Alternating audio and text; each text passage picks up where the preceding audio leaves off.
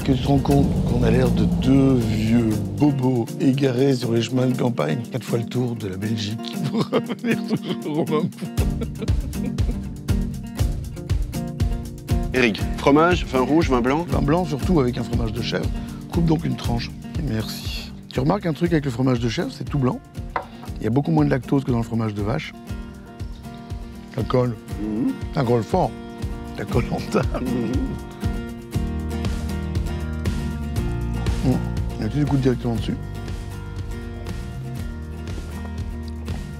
Et là, directement, ça rafraîchit, Et ça, tu vois, ça ravive la bouche. ça ravive la bouche. L'acidité du vin coupe le gras du fromage. Le vin vient chercher un peu le moelleux du fromage.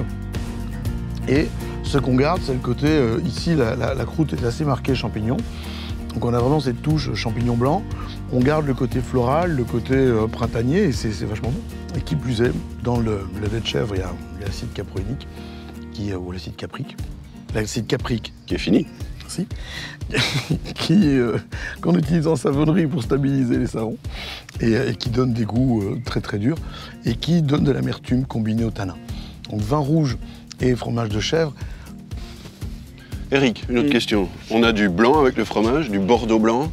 C'est quoi le bordeaux blanc? Bordeaux blanc, si tu veux, bon, c'est c'est, euh, Sauvignon, sémillon et un tout petit peu de muscadelle.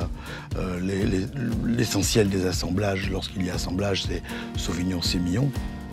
Il y a une tendance euh, euh, qui, existe encore, hein, il ne faut pas se leurrer, à faire des 100% Sauvignon, hein, l'influence technologique qui venait de Nouvelle-Zélande, etc. Il fallait ressembler à.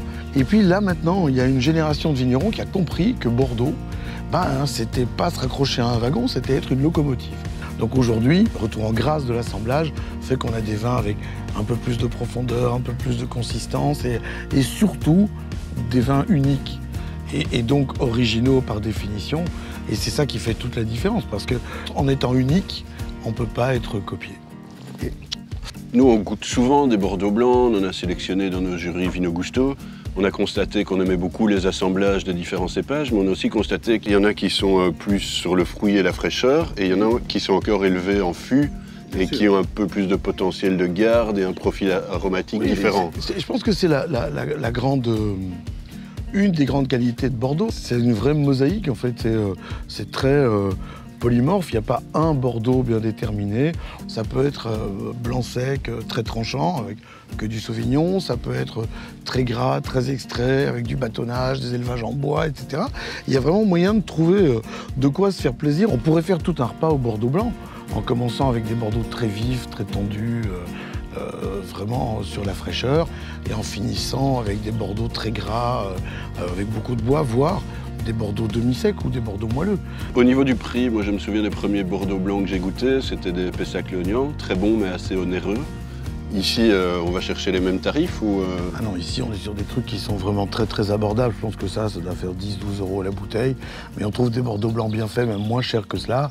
Et, euh, mais de toute façon, tous les prix sont sur le site, le célèbre site vinogusto.com. Eric, fromage belge, un bordeaux blanc pour une dizaine d'euros, c'est la pause parfaite. Du rhum, la merde de Dieu. Ah non, c'est pas ça. On reprend la route Bah oui, buvre avant de conduire, c'est une bonne idée. Bah toi tu bois, moi je déguste et je crache. Bon, Eric, Fromage. le tout mais pas d'overlap, on vient de te dire. Eric, fromage belge, moi tout moi fâche.